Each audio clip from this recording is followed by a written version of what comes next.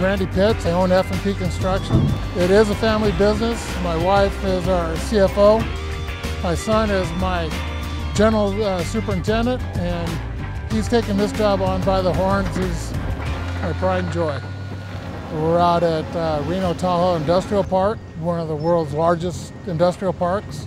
It's a total of 104,000 acres. We're building a 703,000 square foot warehouse, and we just recently purchased a 700 case excavator. This job here we started in January 25th of this year, and we've moved almost 450,000 yards in that time. I knew on this side here that uh, I had two options. I could either go scrapers and big dozers. With the excavator, it's one man, one machine, can do the job and load the trucks. And once we got the 700 out here, uh, our production rate really picked up. We were moving right around 7,500 yards a day before the excavator showed up. It jumped us up to 11,000 yards a day. And we didn't add any more trucks, we just added the machine. And just the machine itself decreased our load time to where we were moving a lot faster.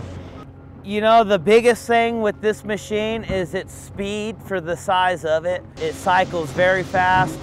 We've had it next to another machine from another manufacturer and it beat that machine, hands down. One of the things that we liked about it is our operator couldn't run normal hydraulic pattern and he ran a, a opposite pattern. And so by being able to flip the, the controls over to other type of a pattern that he could operate made a big difference to where he could run it. I have other machines on the job that he can't run because they don't have the ability to flip their, their hydraulic pattern. I, I thought to myself, wow, I didn't know Case made a, an excavator that big, and I was very curious to see it. And, uh, and then once we got to play with it and, and compare it to the other big excavators we, we, we have, it was, it was very impressive. Originally, when we, when we budgeted this job, we figured it was going to take us 10 weeks to get this pad to the, to the base grade for the general contractor. We did it in six. So it cut, it cut four weeks out it, cut a month out of what, our, what we were anticipating. Case machines are they're pretty bulletproof machines. I don't really have too many issues with, uh, with my case machines breaking down on me.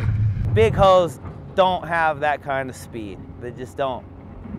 I was really impressed with how fast the, the cycle times were on it. It was, it was a really fast swinging machine and versus the other machines that I've been around.